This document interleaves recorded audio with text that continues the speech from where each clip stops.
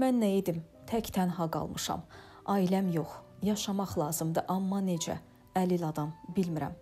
Bu sözləri şəhid oğlunu torpağa tapşırdıqdan 40 gün sonra həyat yoldaşını da itirən şəhid atası deyib. Çingiz atanın ürək dağlayan hekayəsi hər kəsi kədərləndirib. Həm övladını, həm də ömür gün yoldaşını itirən şəhid atasının tək təsəllisi oğlunun yadigarı olan vətənə əmanət oğludur. Qeyd edək ki, Ağayev Tapdıq Çingizoğlu 2 dekabr 1990-cı ildə Qəbələ rayonunun Tüntül kəndində anadan olub.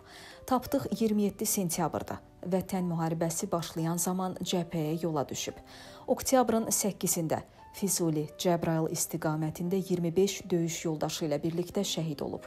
22 gün neytral zonada qalan tapdıq. Oktyabrın 29-da neytral zonadan götürülüb. 30 oktyabrda doğulduğu Qəbələ rayon Tüntül kəndində böyük izdiham ilə kənd qəbirstanlığında dəfn olunub. Ölümündən sonra Azərbaycan Respublikasının prezidenti İlham Əliyevin sərəncamı ilə şəhid Tapdıq Ağayev Vətən uğrunda medalı ilə təltif edilib.